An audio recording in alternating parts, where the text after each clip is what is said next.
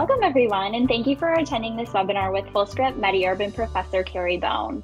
My name is Michaela, and I am part of the marketing team here at Fullscript, and we're very excited to have Professor Kerry Bone here with us today to help us understand the clinical features and drivers of acne, including available drug therapies and diet. Before we get into the presentation, I just wanted to give a reminder that this recording and slide deck will be sent to everybody who's registered. So if you have to leave early or just want to go back and rewatch it again after this presentation, you'll have direct access to it from your inbox. The recording will also live on the Fullscript website at www.fullscript.com webinars, where you can also access all of our past and upcoming webinars. Throughout this presentation, if you have any questions, please just add them to the chat section or the question section on your GoToWebinar dashboard and we will get to them during the question and answer period at the end of the presentation. So again, I'd like to thank Professor Kerry Bone, who is recognized internationally as a preeminent herbal practitioner, scientist, and academic with a reputation cemented by his significant contribution to excellence in education, research, and advocacy. His passionate commitment to product development, research, writing, education, and clinical practice positions him as a pioneer in the international herbal industry. He is the founder of MediHerb, author of seven books, contributed to over 100 articles on herbal therapy to peer-reviewed journals around the world, and has remained dedicated to his practice for over 35 years. And with that being said, I'm now going to pass it over to Professor Kerry Bone to take it away, and I'll rejoin you closer to the end for a presentation for a live Q&A session. Thank you, and good evening, everyone. Acne can be both physically and psychologically painful and debilitating. Patients are often desperate for a quick fix, but in reality, it's a lifestyle disorder probably superimposed on a genetic vulnerability. Traditional herbal treatments for acne have evolved during the 19th and 20th centuries and mostly are focused on plants that are, are, are described as alterative or the more modern term depurative. But what are they? What do they do? And in fact, are they enough? Currently, with our increasing biomedical understanding of this condition, additional herbs can be proposed for its management via functional herbal therapy targets and uh, weaving into that uh, recently identified biomedical targets. But are you able to identify these? And which ones are truly relevant and current? Achieving clarity among this new information and, and to a degree confusion, um, to do that, we must consider what typically triggers and drives acne, including the diet. This becomes particularly powerful when we adopt a functional herbal therapy approach, combine, uh, uh, combining it with newly discovered properties of the medicines we use. Especially how our herbs seem to work in harmony with the cell's basic metabolism rather than interfering with it. What I will be covering today should give you a multifactorial framework for the care of your patients. Moreover, this new information gives us a unique advantage as natural therapists through our capacity to instantly translate state-of-the-art biomedical research findings into, into today's clinical practice. So let's begin. So our topics, we're going to begin with a brief discussion of the clinical features pathophysiology drivers and uh, drug therapy of acne, although I think I edited the drug therapy out because of uh, time considerations. We're going to look at uh, uh, the role of diet in acne. Then we'll move to herbs and firstly look at the clinical evidence for herbs in acne, including topical application and, and its sparse and then discuss the traditional herbs from 19th, to 20th century texts for acne. Then I will elaborate therapeutic targets and herbal protocols that are informed by functional herbal therapy. Now, it's a new approach to herbal prescribing that I'm advocating, and uh, there is a presentation on this that I have done for Fullscript. And then I will revisit all that information and give you a, a treatment summary of a few slides that you can refer to. So let's now look at the clinical features, pathophysiology and drivers of acne. It's the most common skin disease. It affects most teenagers and around half men and women aged between 20 and 30. It's characterized by in, inflamed lesions, usually on the face, back, uh, neck, and chest. And in more severe cases, cysts and scarrings can occur. Now, it's important to note that acne is not a trivial disease. Um, it's not a cosmetic condition as per this quote. It's an inflammatory skin condition with a complex pathogenesis associated with a real significant physical and psychological burden. Our knowledge of the pathogenesis of acne has deepened over the past decade. However, as noted in the quote, we still cling to the four major pathogenic factors, which are follicular hyperkeratinization, excess sebum, inflammation, and the role of a bacterium. It's now called Cutibacterium acnes. It was formerly known as Propionibacterium acnes. I'll be referring it to it as C. acnes. However, there is uh, an, an increasing focus on newly discovered biomedical issues, uh, especially at the molecular level. And, and what's recognized now is that the interplay of those four factors is intricate and nuanced and subtle. So just briefly again describing the lesions, you have the blackheads, you have the whiteheads, in more severe cases, the papules and the pustules. So what are the basic issues in acne? Uh, well, firstly, it can be secondary to endocrine disorders. So you can have uh, secondary acne in a sense, as well as primary acne. And these include PCOS, Cushing syndrome, uh, androgen secreting tumors, and hyperinsulinemia.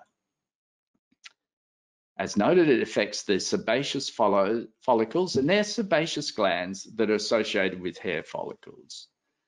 And it's linked to excess hormone production in people who have the primary form of acne, and these hormones basically encompass androgens, growth hormone, and, and related like insulin like growth factor, IGF-1, insulin, and glucocorticoids. So all of these hormones, if they're in balance, can uh, individually or uh, in various combinations play a role in the development of acne. If we uh, look at the pathophysiology, um, what seems to be the primary event that triggers it is uh, hyperseborrhea. As noted earlier, it's it's uh, confined to the areas where where you do have um, these androgen sensitive uh, sebaceous follicles, and you particularly see that in premenstrual acne and teenage acne. So in the sebaceous follicles, you get too much sebum being produced.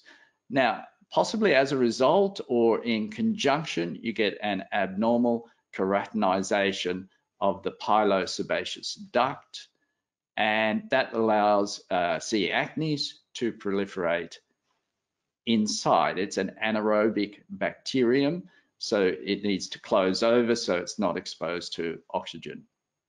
And then uh, what appears to happen is that immune inflammatory response against C. acnes is in, initiated, but it's thought that it's more subtle than that, as I'll outline, that the cutaneous microbiome, your resident microbes on the skin, also are not in, in, in balance, they're imbalanced, and that can contribute to the inflammatory drivers. So there you see the, the, the four key issues, uh, and it probably goes in that direction. Um, uh, so probably the Propioni, uh, well, this is all, the diagram. So it's now C. acnes. The C. acnes colonization probably happens in conjunction with both the follicular hyperkeratinization and the excess sebum production. And finally, of course, you get the immune system involved in release of inflammatory factors because it is an inflammatory condition. So let's now look further at the role of C. acnes. As mentioned, the sebum and keratin accumulation allows it and other anaerobic microorganisms to proliferate and then kind of in a vicious cycle, this organism then stimulates further sebaceous production of fat and stimulates also the activity of the keratinocytes. Uh, as well, of course, as mentioned, it stimulates inflammatory cytokines and the innate immune response, but it is complex. When you look at the colonization of C. acnes on the skin of people with acne compared to control people, there's no quantitative difference. In other words, the amount of bacteria there are the same of this organism. But you do see a higher incidence of biofilms and you possibly have different phylotypes of C. acne that occur in acne that are more likely to stimulate an immune response. It also plays a, another role. I, I mentioned about uh, your skin microbiome. It also plays another important role in the homeostasis of the skin's microbiome. So it, it may well disturb in some people the microbiome, and that could be a factor on the skin. So let's now briefly look at the cutaneous microbiome. We put all sorts of things on our faces now and, and uh, cosmetics, soap, um, and that can affect it, as of course can your diet. And I'll be describing uh, factors in diet that are linked to acne, and many of these could be acting by disturbing the cutaneous microbiome. And then it's affected by internal factors, genetic, you can't necessarily uh, do anything other than compensate for, but certainly hormonal balances you can address. And as already touched on, modifications to your natural skin microbiome when it goes into dysbiosis can make the inflammatory responses in your in in your skin uh, more sensitive and more likely to happen. So essentially, there's a dysbiosis of the skin probably going on to acne. Now, I, I really like this this uh, uh, uh, quote because it gives us some ideas of what we have to can do, what we can target, but also what uh, a future thinking about the management of acne uh, might be like. So this quote says, rebalancing the natural microbiome of the skin by restoring the natural skin barrier, so there's one target, limiting the proliferation of C. acnes on the skin by using topical antibacterials that don't cause resistance, and I have a comment there from a natural source later on, and regulating the quantity and quality of sebum will be the main acne treatment challenges in the future. And as mentioned, because using the functional herbal therapy approach, we can actually translate what is known, combining it with what we know about the herbs and their great versatility of action, we can actually translate what is known now, before they have drugs to do it, into real, real and, and biomedically relevant therapy the very next day. So we've mentioned about hormones and androgens do play a key role in acne. And the enzyme 5-alpha reductase is found in skin, hair follicles, and sebaceous glands.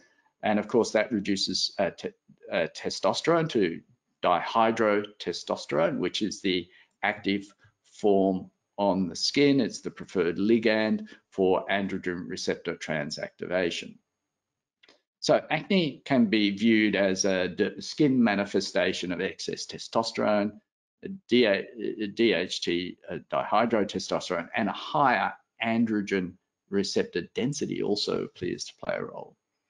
Now, one thing we can do to, to target that androgen response is to increase sex hormone binding globulin uh, because it basically reduces the activity of uh, testosterone and hence will reduce DHT as a result and that can reduce these androgen effects in acne. We can also look at inhibitors of 5-alpha reductase and, and I'll briefly have some comments there. So that's the pathophysiology and it gives us a role of uh, targets, but I will be further uh, elaborating on targets as we move along. So one of the critical issues with acne is does diet play a role? So as you heard, I've been in practice for nearly four decades and for virtually every year of those four decades, I've had patients with acne who are being told by their medical practitioners that diet plays no role, that diet has been discounted. Well, that couldn't be further from the truth if you look at the latest research and you see illustrated there are dairy products and they appear to play a critical role. So let's look now at some of the more recent research findings about the role of diet in acne. The first thing we can observe, and the studies have happened, is that acne is virtually and absent in populations that are still consuming what we can describe as a Paleolithic type diet, for example, people in Africa and so on. Um, androgens and hormonal mediators, including IGF-1, are found in dairy products and they can survive processing. And these factors likely contribute to excess sebum production in acne, dairy, the factors in dairy products. Also, uh, sugar, glycemic index, glycemic load appears to play a significant role. So uh, when, when uh, male patients followed a low glycemic load diet, a, a improvement was noted in their uh, acne and when a low GI and GL diet was followed, it decreased IGF-1, uh, circulating IGF-1 in our adults uh, who had moderate and severe acne, and that was just a short-term two-week trial. So as touched on, uh, diet appears to play a role in stimulating hyperseborrhea, and it's particularly linked to your average Western diet high glycemic low carbohydrates, high saturated fats, and dairy products. Um, and uh, the sebocytes use the same regulatory mechanisms for uh, fat production and inflammation. So if you if you stimulate the sebocytes uh, fat production activity, you're also going to stimulate their propensity to drive inflammation. Now, interesting, the the hormone leptin is involved because it regulates sebocyte lipogenesis and hence it's also activity to drive inflammation. And it particularly does so by upregulation of this. Now, it has various names for the M, uh, metabolic target of rapamycin complex 1, or, or uh, here you see mammalian target, but we know it as mTORC1. So mTORC1 signaling via, via leptin and other factors is upregulated in acne, thereby increasing sebum production. So we know about mTORC1, it's involved, it's linked to higher body mass index, obesity, type 2 diabetes, insulin resistance, and also acne. So we can make mTORC1 as a target. Now, there are drugs like rapamycin that target mTORC1, but they, they have problems with their association. When I review what you can do via medicinal plants for mTORC1, there's nothing that stands out as being active as a direct factor, but we can indirectly target mTORC1, as I'll show you. So it's not surprising given this uh, link with mTORC1, that acne has been described as the metabolic syndrome of the pilosebaceous follicle. And again, uh, this, this review highlighted that no acne is found in people still uh, having diets that constrain hyperglycemic carbohydrates, milk, and, and products from milk, other dairy products. Um, and, and it also notes in the review that uh, the high prevalence of adolescent acne is cannot be explained, therefore, by genetic factors, but instead by the influence of the Western diet that overstimulates mTOR C1, which is the nutrient, nutrient and growth factor sensitive kinase, is how they describe it. So, uh, a complex diagram, but this basically explains the ways that Western diet um, stimulates acne. So you see that the factors we've identified, high GI-GL refined carbohydrates, milk and dairy products, and saturated fats. And you can see there's, there's two uh, parallel factors going on. One is a down regulation of forkhead box class 01, FOXO1, and an up regulation of mTORC1. In this case, they call it the mechanistic target of rapamycin complex. So upregulated and downregulated. So uh, as a result of downregulating FOXO1, uh, you get up, upregulation of, of the androgen receptor, PPAR gamma, and other factors. And um, that's the downregulation of FOXO1, upregulates those, and that uh, enhances sebum triglyceride synthesis, as does upregulation of mTOR C1. You also get increased production of monosaturated uh, fatty acids, particularly oleic acid, and that seems to be a role. And one can wonder, well, does that mean olive oil is a problem in acne? Possibly in excess. I'm not too sure how robust uh, any data on that is, but certainly it's produced and it plays a role. Because uh, when you get uh, triglyceride lipase acting on fats with uh, oleic acid, you get free oleic acid and that has impacts on uh, uh, carotenoid uh, um, um, function and, and also increased uh, inflammatory responses by that way. And over, over the, here, uh, it's the it's the C. acnes that provides the, uh, especially as a biofilm, the triglyceride lipase that cleaves um, uh, uh, palmitic acid, C16-0, and again, the C16-0 drives inflammatory responses. So the uh, link between dairy acne, uh, dairy and acne is strong. Here you see a meta-analysis, and if we look at the pooling of the data using uh, two different statistical techniques, you see there's quite a significant uh, uh, odds ratio of the link between dairy intake and acne. That's about uh, 1.3 odds ratio, so it's 30% higher risk uh, with higher dairy versus lower dairy intake. Um, also, as you see, a strong link between the glycemic index of the diet, and in this case, not acne incidence, but acne uh, uh, severity. So um, higher the glycemic index, the more likely the acne is to be severe.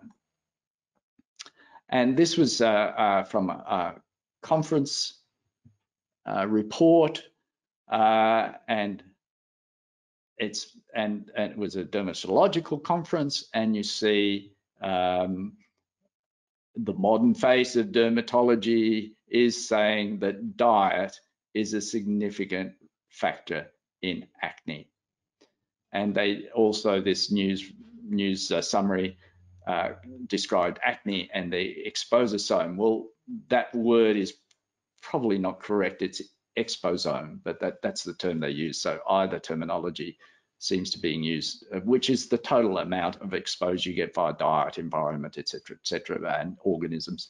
Um, but exposome is norm normally the term used. So what did they find? They found that various foods were identified as acne triggers in various studies. So it was a review of studies, refined grains and sweets, candy, dairy products, fast food. Chocolate is an interesting one, possibly because of the fat, including uh, dark chocolate and cocoa powder, although it's debated about that, and whey protein. Of course, it's a dairy, it's a dairy product. And um, this is from a mainstream dermatology journal, so it's becoming very recognized, the role of diet among dermatologists. So again, identifying dairy and high GI, GL diets, uh, uh, it kind of dispenses with the chocolate issue as per the, uh, in contrast with the previous study. So there's still debate over the role of chocolate uh, uh, because the thinking might be it's the sugar in the milk, not so much the cocoa. That wasn't the case with what they were noting on the previous slide. So it's a bit of uncertainty there. Um, and what they're saying, it should be noted that changes in acne due to any pharmaceutical treatment or dietary changes likely to take at least 10 to 12 weeks. Uh, and herbs will be the same. And acne patients should be encouraged to discontinue any whey protein supplements that they might be taking. Oops, sorry, wrong one.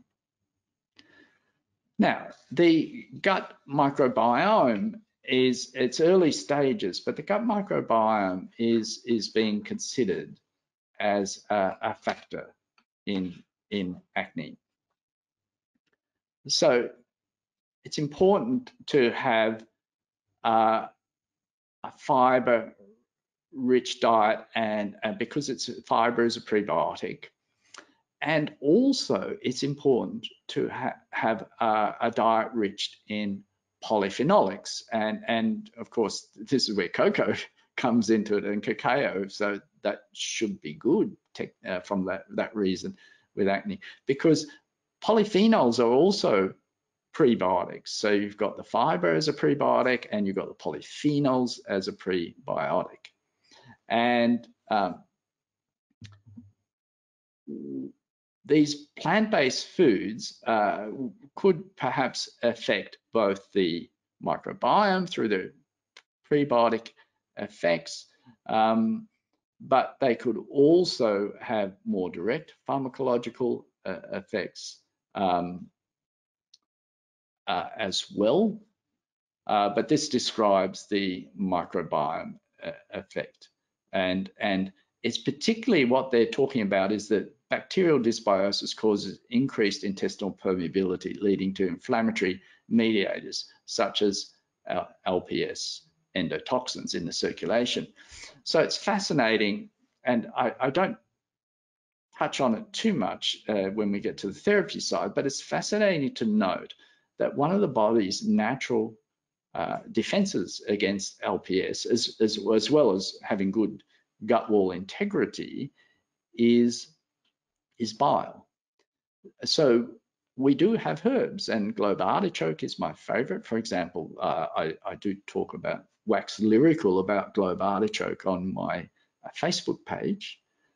Um, we do have herbs that can ensure a healthy bile production. So that's another angle. And, and also traditionally, and when you talk to natural therapists, a lot of them focus on the liver in acne. So it could actually be the, the role of, of uh, bile in lowering the absorption of these uh, factors that like LPS that drive inflammation.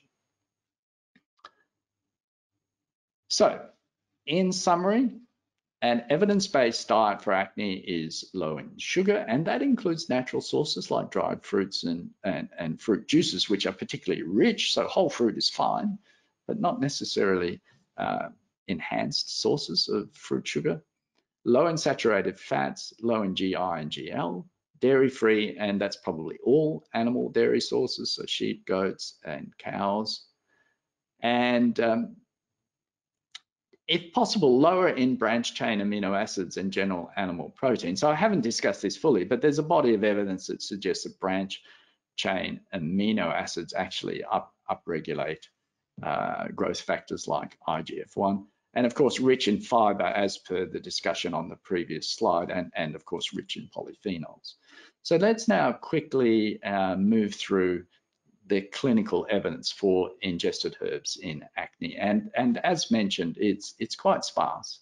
We have uh, uh a study on de uh, decaffeinated green tea extract in uh, 64 post-adolescent women uh, randomized, double-blind, placebo-controlled trial, massive dose used, 1500 milligrams of extract. I don't know how many cups of green tea that would be a day, but possibly mm, 10, 15, something like that.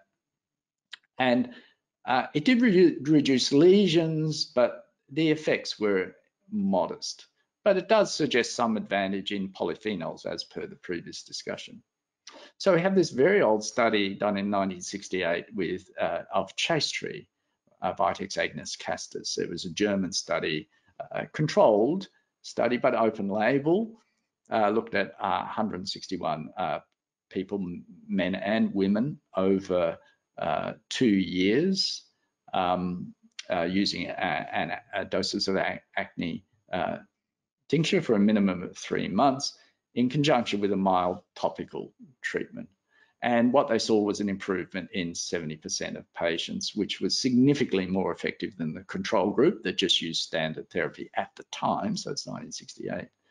Um, and it's thought possibly to be due to a mild anti-androgenic effect. Now we know the, the traditional name of, uh, another traditional name of chaste tree is monk's pepper, and that's possibly because uh, monks used it uh, as a pepper, uh, they had it in their diets for its anti-androgenic effects that would therefore reduce sex drive.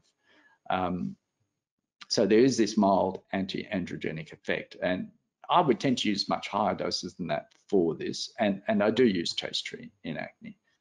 Then surprisingly, and this is fairly recent, this, this came, study comes from Iran, and we're seeing, uh, uh, if you like, an explosion of herbal clinical trials out of Iran. Uh, some of them giving quite novel insights. Uh, can be an issue that you're thinking, uh, how well conducted are these trials? Because many of them seem remarkably positive. However, if we look at, say, for example, uh, saffron in, and, and the various trials there. Many of them are now being validated in well-conducted trials uh, from other countries, for example, Australia. So I, I think while we should remain a, a, have a cautious, um, you know, criticality of these studies, um, that I think overall uh, they're incredibly valuable, the data we're getting out of all these trials from Iran. Um, and this was surprisingly the silymarin and the milk thistle extract, uh, not at a, a, really high dose, 140 milligrams a day, compared with doxycycline or the two together. And um, it was over two months. Uh, re response was monitored monthly, and lesions were evaluated using two scales, GAGS and ASI. and for the GAGS index, the result was the same as doxycycline, uh, but in the ASI, the acne severity index, it, uh, the doxycycline was significantly superior. And although the combination of the two, the improvement was more favorable, it didn't achieve statistical significance, and that probably reflects on numbers. You've only got 20 in each group. So it seems like you can add milk thistle, for example, to doxycycline and, and get beneficial results in acne. And uh, I was struck by the images. So you've got two patients there. You've got the back, face of one patient, and you see before and after. It's not gone, but it's a pretty substantial improvement from, from a herb I wouldn't have normally thought about. And interestingly, it is a herb that milk thistle that's traditionally noted to enhance bile production. And if you look at, uh, at the back of this patient, again, substantial improvement, although it's not gone. And these are both after two months. And then we have, um, especially in women with high androgens, high testosterone, the combination of licorice and white peony is used traditionally in both China and Japan for women with PCOS or just women with high androgens, and that combination uh, has been shown to be effective in lowering testosterone, but also as per uh, this trial, um, equivalent six grams a day of both the peony root and the licorice root for 12 weeks, uh, as well as lowering uh, free testosterone compared to baseline uh, values in women with acne, uh, also significantly reduced the number of acne lesions. So that's it for our published data. Um, uh, for internal use of herbs, if we now look at the uh, topical use of herbs, we can see that uh, the best evidence is for tea tree oil. Now, be careful about tea tree oil uh, because it's now widely adulterated. Um, they actually uh, make a synthetic type of tea tree oil and it's only when you use uh, very sophisticated gas chromatography that can differentiate between optical isomers of some of the terpenoids that you can tell the difference. So use a trusted source of tea tree oil. And, and as a top, topical, you can see the results are very good, very good. I mean, here it was quite effective, not quite as effective as benzoyl peroxide. Um, uh, here, here compared to an erythromycin gel, it was probably slightly more effective, uh, definitely effective uh, against placebo and other good evidence. So, so we do have good evidence, and that's these studies are done by Kate Hammer. She's she did the review, and she's also been involved in many of the studies and and she's a microbiologist and clinician uh, who who when I last met her was at the University of Western Australia here here in Australia. She also uh, there's another small open label trial of a tea tree gel uh, that that she's published on as well, which which gave a positive result. We also, of course, can draw on traditional Western herbs and acne. And, and here, uh, I'd like to review some of them from uh, particularly the United States uh, clinical texts because that, uh, you know, written by the eclectics in, in, particular, because they're, they're incredibly valuable. So golden seal and calendula, and we're talking internal use of calendula, and you see from King's uh, American Dispensatory around about 1905 that, that that uh, edition. Um, it mentions about acne and uh, especially when dependent upon gastric difficulties. Um, but golden seal is one of my go-tos most certainly for acne and it contains berberine. I'm going to talk about berberine soon. Um, and then calendula, you noted used both locally and internally. And then, of course, I rarely do a presentation without mentioning my favorite herb, echinacea, and it does feature, I believe, in acne. And, and the original uh, um, Western proponent of, of echinacea was Dr. Meyer. That's who the eclectics learned from. And uh, he claimed success uh, for this remedy in acne and eczema. Then we have another source, interestingly, of berberine, which is the Oregon grape. And, and this is from Ellingwood, uh, the American Materia Medica, and Ellingwood said it has cured persistent acne uh, when no local treatment was used. So Oregon grape, and, and he waxes lyrical. Ellingwood's great, is very descriptive. It contributes to the removal of pimples and roughness and promotes a clear complexion, soft, smooth, and naturally moist skin and sensitive young ladies. We could probably make a fortune selling it as a beauty from within treatment. Perhaps that's the latest buzz, beauty from within. And surprisingly, uh, Damiana, which is considered a male herb, and you might think raises testosterone, um, but it, Ellingwood did use it in a severe case of acne with success, but I'm not so sure about Damiana. So now let's look at, with the knowledge we have, how we can apply functional herbal therapy for acne. So what are our goals for acne treatment applying uh, herbs with a functional approach?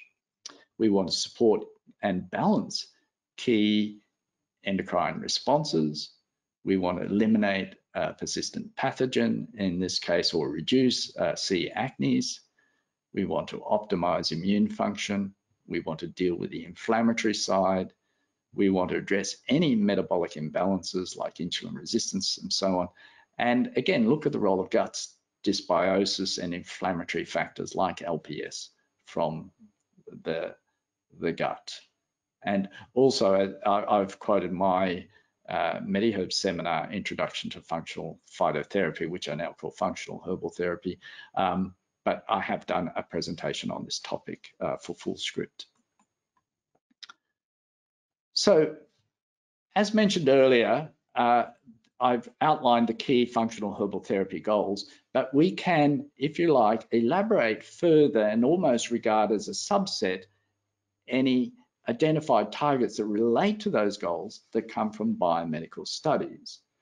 And mTOR C1 is, now, as I mentioned, uh, we can best target mTOR C1 by using an indirect approach via AMPK and SIRT1, and I'll show you about that.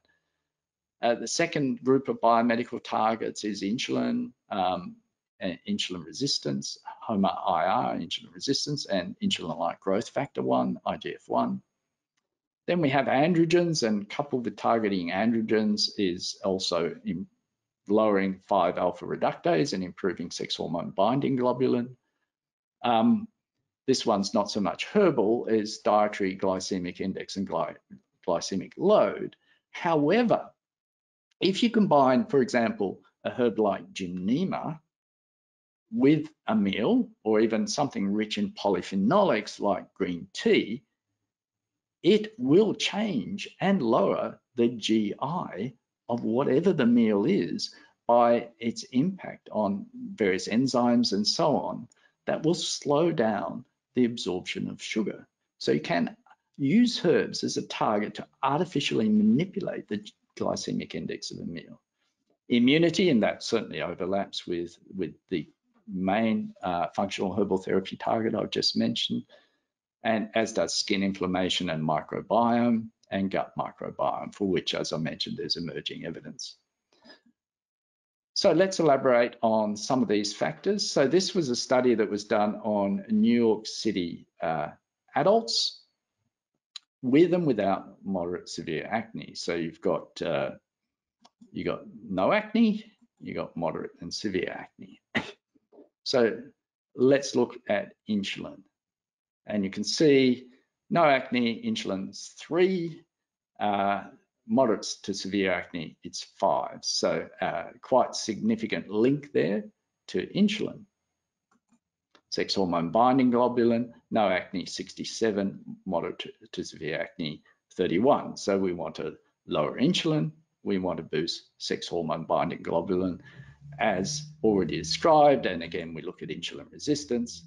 Again, uh, lower in the no acne, double in the high acne.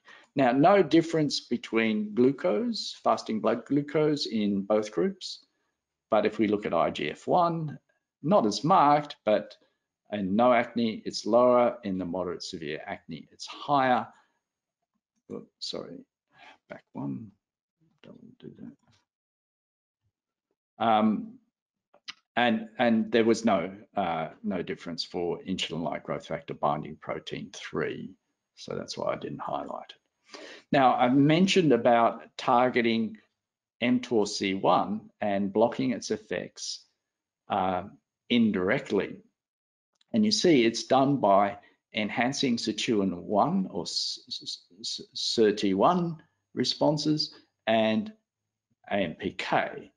And you see there are three things that do it, calorie restriction, and certainly uh, low carb diet, exercise, and what the scientists in this paper describe as polyphenols, because you know credible scientists can't uh, can't quite struggle with the term herb, so they go for a more scientific sounding name like polyphenols. But what are the critical polyphenols, um, phytonutrients, even phytochemicals that do upregulate SIRT1 and AMPK and hence will indirectly lower mTORC1? They are berberine, resveratrol, and curcumin. And of course, curcumin you, you're going to be looking at for the inflammatory side as well. So let's look at berberine. Um, this study was done in women with PCOS, and uh, the berberine dose was quite high, 1500 milligrams a day, and it was compared with metformin. Um, and I, I, don't tend to dose quite high uh, uh, with berberine, but I, I, use the milk thistle, which is good for acne, as as a synergist because it it, it, it inhibits uh, uh, uh, the factor that pumps out the berberine from from the gut wall and and therefore helps its absorption. Uh, if you look at uh, changes in insulin resistance, you see with the berberine, it went down from 4.9 to 2.6, and similarly with the metformin, it went down around the same. But the really interesting thing was sex hormone binding globulin went up substantially with the berberine. 33.7, 58.7. So we have this traditional link of of um, of uh, of uh, um, golden seal and Oregon grape with acne, and we see that the berberine that they both contain does have favorable effects on uh, our targets from biomedical studies. So let's summarize how we hit the biomedical targets and, and I've actually introduced some more uh, uh, data about what herbs are doing here that I haven't had time to elaborate on, so forgive me. So the first thing was indirectly targeting mTORC1, and we have the herb polygonum, also known as Fallopia, as a source of resveratrol, the, the curcumin in a bioavailable form, or the turmeric, and then the Phellodendron as a source of berberine. In terms of insulin resistance and, and uh, IGF-1 and so on, uh, again, we have the Phellodendron for the berberine and, and the herb gymnema. Now, interestingly, uh, in terms of androgens, we have the impact of uh, chaste tree. Uh, we also have the Phellodendron, for example, as a source of berberine because it increases sex hormone binding globulin. And there are some small trials that suggest that St. John's wort and green tea might inhibit 5-alpha reductase. So that's why I have them in there. Then if we look at uh, manipulating dietary glycemic index and hence glycemic load, I've already mentioned this concept of gymnema and green tea taken with meals. Um, in terms of uh, working on immunity, my two favorite herbs in acne for that are echinacea root and andrographis. And of course, managing uh, skin inflammation and, and uh, we have the curcumin. We, uh, in terms of skin microbiome, a, a, lot of that depends on you, what you put on your skin and what you uh, wash with your skin. And then for uh, balancing out the gut microbiome, uh, I do have this bowel flora balance protocol, which is mentioned as a whole chapter in my latest book on functional herbal therapy.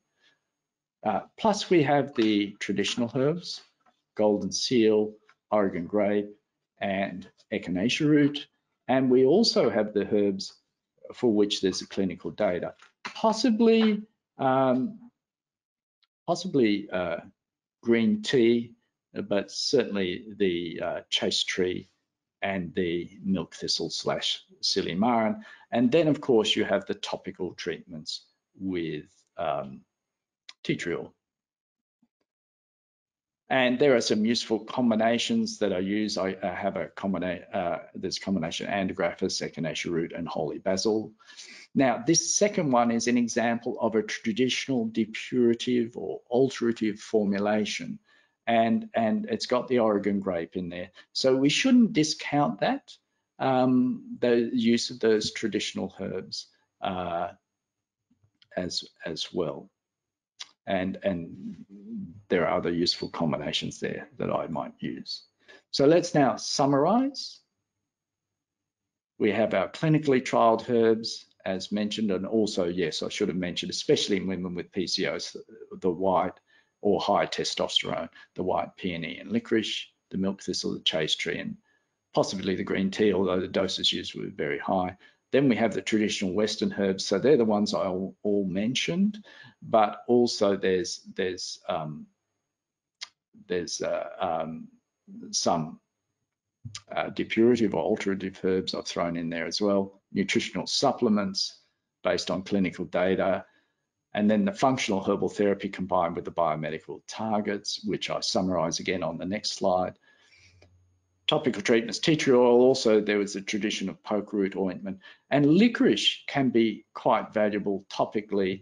I generally as a face rinse diluted with water, licorice extract, high in glycyrrhizin, diluted with water because that is uh, has saponins in it, acts as a natural gentle detergent. Because one of the problems is if you use a harsh detergent, to strip the sebum from the skin in acne, you'll get a rebound sebum production. So your natural soaps, as per the, the glycyrrhizin that's found in licorice, especially when it's diluted with water as a face wash, can be a nice gentle way to strip out the sebum without getting the rebound effect. Um, and, and of course, the, the diet is summarized there, but we've already discussed that.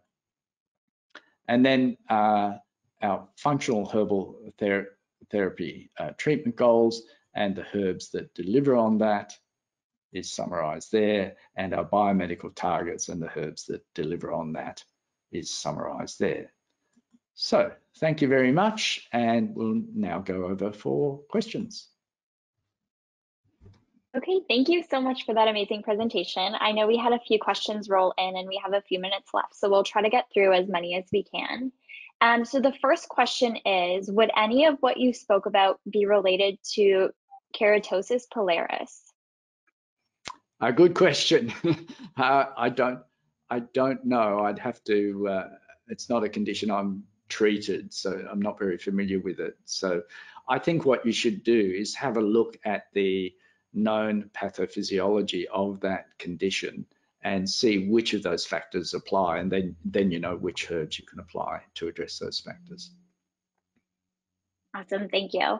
Um, in one of the slides, the paleo diet is discussed, indicating that it's helpful for acne. However, in a later slide, a lower meat intake is recommended. The paleo yeah. diet tends to have a higher meat intake. Can you please ex explain this a little bit further?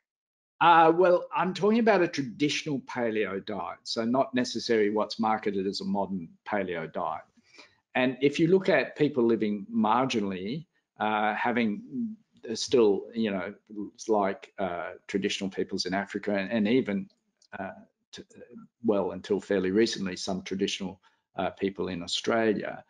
Um, meat's not a huge part of their diet. They do have it, but it's not a huge part of their diet. Uh, they obviously get it when they have it when they have a kill, uh, but that doesn't necessarily happen all the time. And a large part of their diet is is well, certainly if we look at the uh, Australian Aborigines, uh, a large part of their traditional diet was was about uh, you know what they call bush tucker, which was plant based, you know, and they go foraging and that for various plants.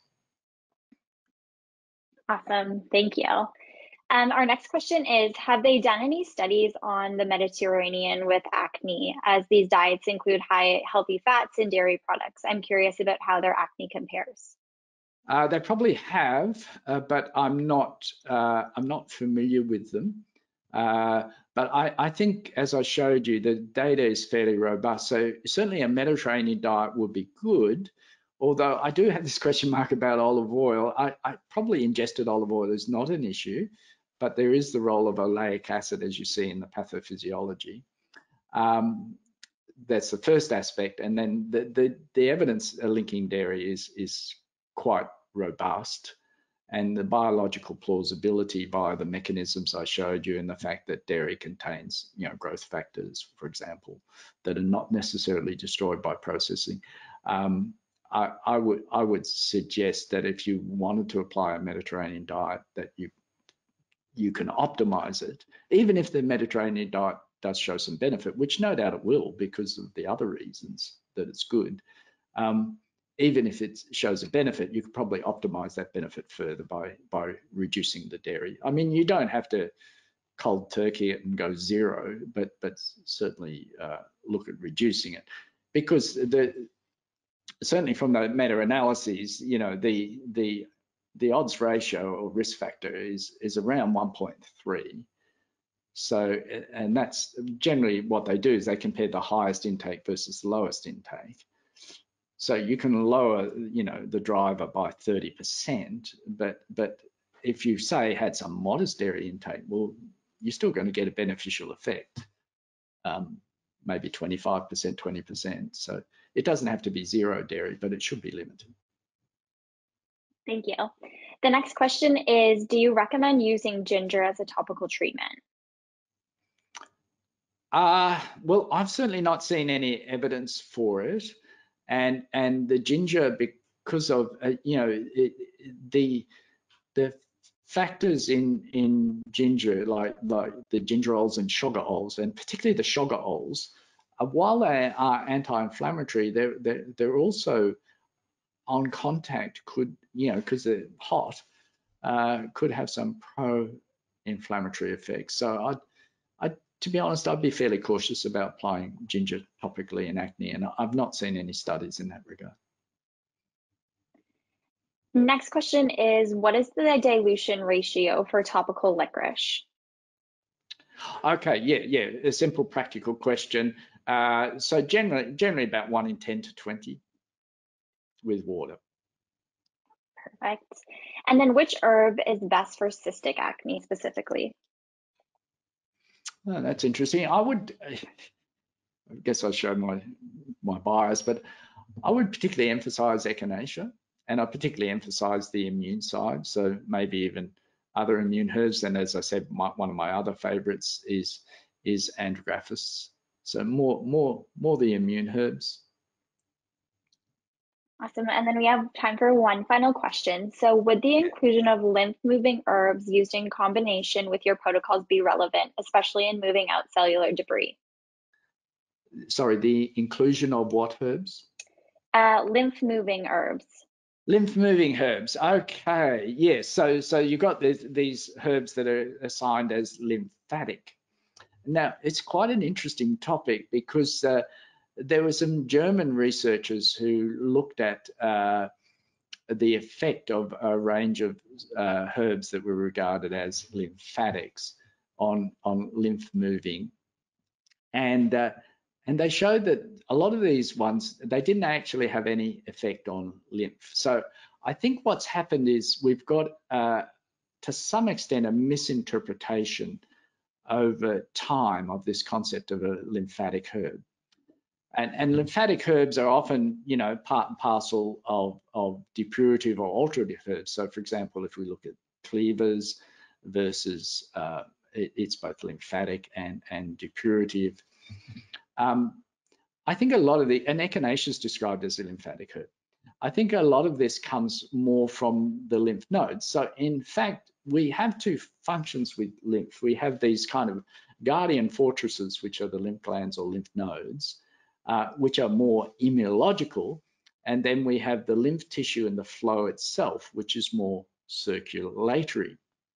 So, so um, I think they're being confused. So I think a lot of so-called lymphatic herbs don't move lymph at all. They work on immunity, and echinacea is the best example of that.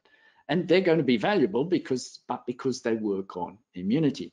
Now, if you want to improve lymph flow, well, there is the herb called sweet clover that and there's a monograph of that in Principles and Practice of Phytotherapy. Um, there is a herb called sweet clover that does have a genuine uh, effect on lymph flow. But I tend to go with a perhaps a more modern functional herbal therapy approach when I want to improve microcirculatory flow as a whole. And there's a whole chapter in my book, and I have a dietary protocol on boosting microcirculation. So yeah, if you want to help clear toxins out and what have you, I go now, I'd modernize it and go more for a microvascular, microcirculatory flow approach, which is fully described. And I recently did three hours of presentation on it. So, so, but it's there in the book. Awesome, thank you. So I think that wraps up our question. Um, we know that everybody's time is super valuable, so we'll wrap up the presentation again by thanking you for being here, Professor Kerry Bone. We truly appreciate all of the attendees taking time out of their day to join us. And then just one more quick reminder that everyone will receive a copy of this recording as well as the slide deck from the presentation. And then again, you can also find all of our webinars on fullscript.com slash webinars. So thank you everyone again for being here and we hope to see you next time. And thank you, and I hope you've got some value out of this presentation. Have a great night.